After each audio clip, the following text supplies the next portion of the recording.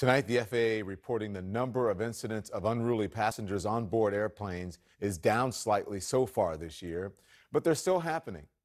This past weekend, at least two flights had to be diverted due to passengers causing trouble. More now from CNN's Tom Foreman. The approximately six foot three, 240 pound man confronted the crew right outside the cockpit, according to court papers, holding a plastic utensil like a shank, kicking and shoving a service cart into one of the flight attendants. Those documents say Juan Remberto Rivas also tried to open the boarding door, saying people on the plane were attempting to hurt him and were going to bring down the plane. Before an attendant hit him with a coffee pot and other passengers rushed up, punching, tackling, and securing him with handcuffs and duct tape.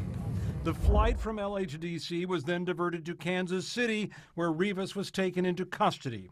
The FAA says on average, about 10 unruly travelers are now reported every day. With the steep rise in these cases, flight attendants have been asking every single day when they put on their uniform, is this going to be a sign of authority? And leadership in the cabin, or is it going to be a target for a violent attack? You made me wait 40 hours. You gave me one warning. One warning. Incidents of upset, angry, and occasionally violent passengers soared last year to nearly 6,000, with almost three quarters of the episodes related to mask wearing.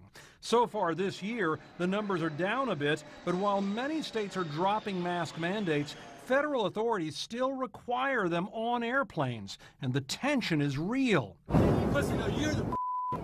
Combine that with a record number of guns caught at security checkpoints, and some industry groups want no fly list for disruptive travelers. And the Biden administration says they might consider it. You simply should not behave this way on an airplane. You shouldn't behave this way on the ground either. Uh, but in, uh, in air travel, it's a unique risk. In the meantime, many flight attendants continue training to defend themselves, other passengers, and even their planes when fellow travelers, for whatever reason, attack. The man in that weekend incident has now been charged with interfering with a flight attendant, and he is still being held, with no word on how he will answer that accusation. Don? Tom Foreman, thank you. And thank you for watching. Our coverage continues.